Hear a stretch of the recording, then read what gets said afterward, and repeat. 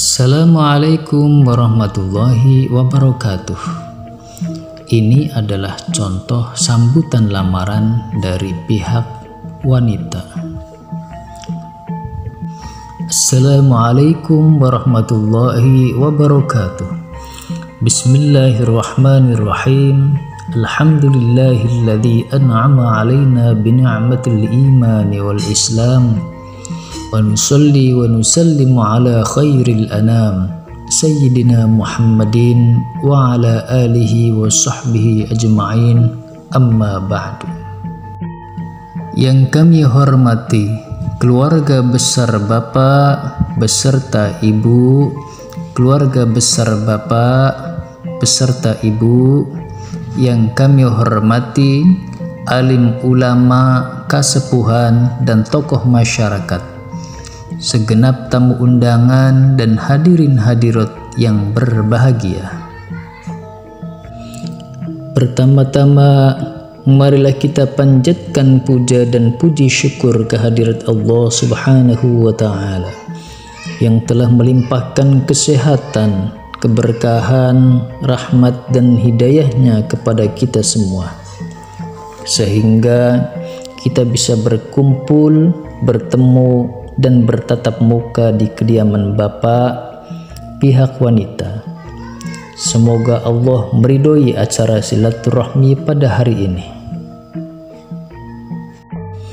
Salawat serta salam marilah kita sanjungkan ke baginda alam Nabi besar Muhammad sallallahu alaihi wasallam beserta keluarganya dan sahabatnya juga semoga kita semuanya diakui sebagai umatnya dan mendapatkan syafaatnya di hari kiamat kelak. Amin. Ya Rabbal Alamin. Pada kesempatan yang berbahagia ini, kami mewakili Bapak dan Ibu pihak wanita mengucapkan terima kasih atas kedatangan keluarga besar Bapak dan Ibu pihak laki-laki dan kami semua juga sudah mendengarkan maksud dan tujuan kedatangannya yang intinya adalah Ananda putra keempat dari bapak dan ibu ingin melamar Adinda putri keenam dari bapak dan ibu. Untuk itu kami ingin menyampaikan jawaban atas maksud dan kedatangan tersebut. Namun Alangkah baiknya jika kita mendengarkan secara langsung bagaimana jawaban dari Adinda.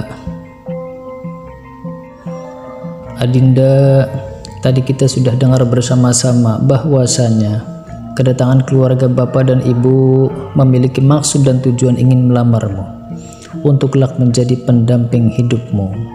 Apakah Adinda menerima lamaran Mas? Alhamdulillah, Adinda sudah menerima lamaran Mas dengan sukacita dan penuh keyakinan. Sekarang mari kita tanyakan juga kepada kedua orang tua Adinda, ayah dan bunda. Apakah ayah dan bunda merestui pilihan hati Adinda? Alhamdulillah, Terima kasih ayah dan bunda sudah memberikan restu kepada Adinda dan Ananda untuk bersama-sama menyempurnakan separuh agama dan melaksanakan sunnah Rasulullah Sallallahu Alaihi Wasallam. Mudah-mudahan Allah Subhanahu Wa Taala meridoinya. Amin ya mujibas sailin. Bapak Ibu yang kami muliakan, Tentunya harapan kita adalah agar proses selanjutnya berjalan dengan lancar dan dimudahkan oleh Allah Subhanahu wa taala. Dan rumah tangganya kelak akan menjadi keluarga yang bahagia, sakinah, mawaddah, warahmah yang membawa kedua pasangan ini menuju kebaikan dunia dan akhirat. Baiklah, Cukup sekian sambutan dari kami mewakili Bapak dan Ibu pihak wanita. Mohon maaf apabila ada tutur kata yang kurang berkenan di hati Bapak Ibu sekalian. Mohon maaf pula jika dalam penyambutan kami terdapat banyak kekurangan. Semoga Allah meridhoi pertemuan kita pada hari ini. Amin ya rabbal alamin. Billahi taufik wal hidayah. Wassalamualaikum warahmatullahi wabarakatuh.